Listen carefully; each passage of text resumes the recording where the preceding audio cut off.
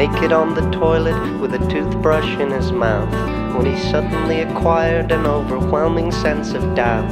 Every single piece of baggage he'd been holding on his back was beginning to dig, dig, dig in, and, and his back began, began to crack. And when he finally broke up, he found that he'd been breaking down. Little body, little soul, little shrapnel on the ground. And so he started to examine from the clumsy to the cute, from the fat, fat cat to the dead statue, from the chat, fat cat to the mute.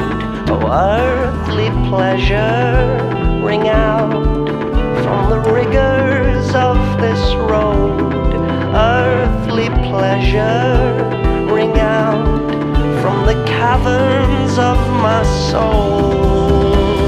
Then suddenly he found himself in 1822, and he was in another body in a heavy sort of suit. He was surrounded, but he'd started making plans to make a run when they called to him, son, cock your gun. And so he did as all the others had already put his finger on the trigger and he got him some. And though he don't like to admit it, it was sensual and pure. And he changed that day, though he can't be sure if it's the sickness or the cure. Earthly pleasure, ring out from the rigors of this road. Earthly pleasure,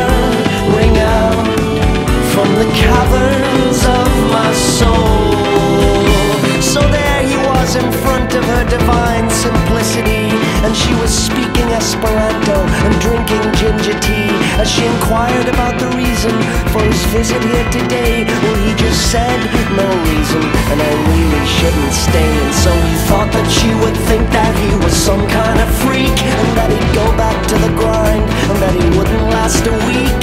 But she she just sighed and added softly with a smile, Sit down, dear child, what's on your mind? And so he frantically described to her the kingdom at her feet as she continued with her manicure and poured another tea as he recounted tales of misery and suffering and pain.